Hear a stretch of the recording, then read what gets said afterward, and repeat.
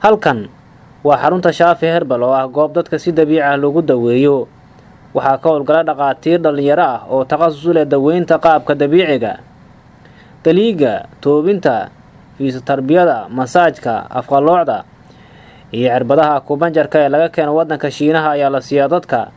Sidoo kale bukaanada qaar ee qaba nabarrada ka soo baxa wejiga ayaa looga daweeyaa xaruntan iyadoo laga soo bixiyo qofka unugyada dhinta ee ku jira jirka faadumo siciid jire waxay qabtay xanuunka afqaloocda in muddo ah balse hadda waxa ay tilmaamtay inay ka soo wanaagsanaanayso xaaladii hore ay ku sugneed. Doorka markaa u imaaday wuxuu igu daray cirbadaha jeenayska ah ugu bilaabay. Cirbadaha jeenayska waxaa laba isbuuc markaa maraayo. Waxaan dareemay wejigii horta hore inuu xoogahay aan nafisay. Oo iisoo wejiga wejiga marka hore magaciiseysnaay ciriiriga wejiga ku jira horta hore inaan ka nafisay qaar ka mid a bukaanada aan weli wax loo qaban iyo kuwa qaar ee loo qabtay ayaa warbaahinta qaranka u faahfaahiyay rajada ay leeyihiin. Mideedkan inkastoo hadda weli waxba la ii qaban laakiin dad badanoo ku caafimaadaan soo arkay. Si wanaagsan aan nala soo dhaweeyey dhakhtarada waa la kulmay way soo firisay laakiin inkastoo hadda weli wax ii dhiman yihiin hadda waa waxaan dareemaya xanuunaan dareemaya waa lay toobay. Alxamdulilah hadda maantada hadda haddaan ka soo baxay faxfaxaan ahay. Waxaa leegahay dhabarka iyo lugaha iyo garbaha leegahay doctoraysa fartuun cabdulaahi macalin iyo doctor cabdiraxmaan axmed calasow oo ka mid a dhaqaatiirta xaruntan ayaa inooga sheekiyey qaabka ay ula tacaalaan bukaanada daweynta ka soo duunta. Waxay noo yimaadaan dadka iyagoo nabra ka cabanaayo.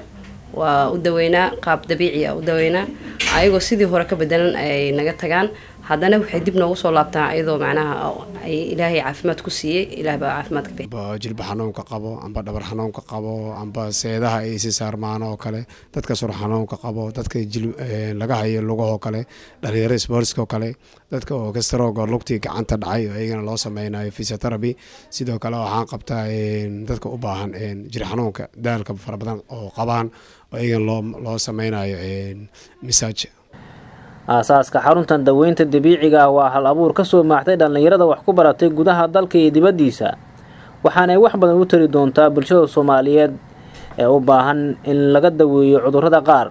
Doctor bilo axmed oo ah maamulka xarunta shaafi herbal ayaa tilmaamay in inta badan dadka qaba dhiikarka afqaloocda loo sameeyo daweynta qaar oo ay ugu talagaleen sida cirbadaha kumbajarka ah ee dadka lagu dabiibo cirbadahan waxaa la sameeyaa qofka inta markuu ku yimaado waxaa jiro xaalado mucayana aada u saboort gareeyaan ama u caawiyaan oo ugu horeeyaan xaaladan loo yaqaano facial parlyska ama pilis balsiga loo yaqaano afqalooca waxay kaloo aada u caawiyaan osteartritska ama rheumatoid arthritka kalgus xanuunka soomaalida waxay dhahaan waxay kaloo aada u caawiyaan dadkan wadanka adduunka waxaa ku soo ku badan cudurooyinkan loo yaqaano chronic diseaseska.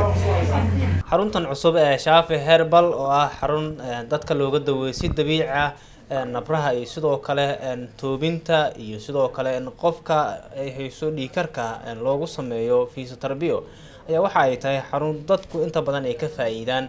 Doctor warbaahinta qaranka. Muqdisho